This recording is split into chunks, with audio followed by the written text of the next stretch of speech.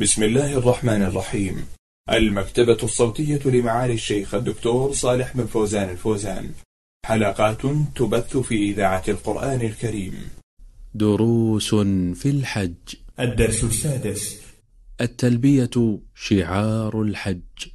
بسم الله الرحمن الرحيم. الحمد لله رب العالمين. صلى الله وسلم على نبينا محمد وعلى آله وأصحابه أجمعين. المحرم إذا عقد الإحرام فإنه يستحب له أن يلبي وأن يشتغل بالتلبية. لفظها لبيك اللهم لبيك لبيك لا شريك لك لبيك إن الحمد والنعمة لك والملك لا شريك لك لبيك. ومعنى لبيك إجابة بعد إجابة إجابة لدعوة الخليل عليه الصلاة والسلام لما أذن في الناس بالحج بأمر الله وأذن في الناس بالحج يأتوك رجالا وعلى كل ضامر. فكل من حج أو اعتمر فإنه مجيب لدعوة الخليل ولآذان الخليل ولهذا يقول لبيك فالتلبية شعار المحرم.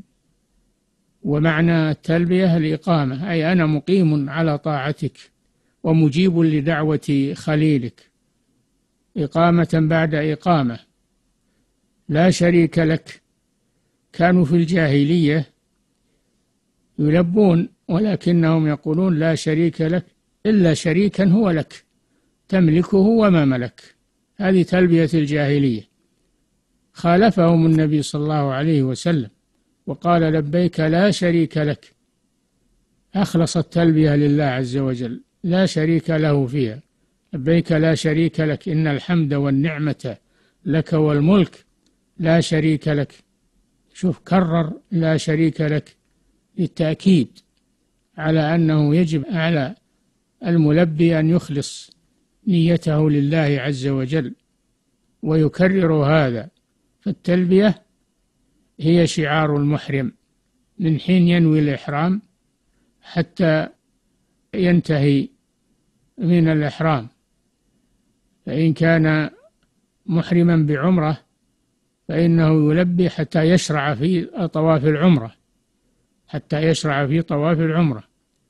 وإن كان متمتعا بالعمرة إلى الحج فإنه أيضا يلبي من حين يحرم إلى أن يشرع في طواف العمرة. وكذلك القارن يلبي حتى يشرع في طواف القدوم. كل هذه أمور يجب على الحاج أن يتفطن لها. ولكن يلبي بين الحين والآخر بين الفترة والأخرى. ليس من لازم أن يشتغل بالتلبية دائما ولا يقطعها أبدا لا. لكن من فترة إلى فترة ويكثر من التلبية. وخصوصا إذا أقبل الليل أو أقبل النهار أو التقى بالحجاج والمعتمرين.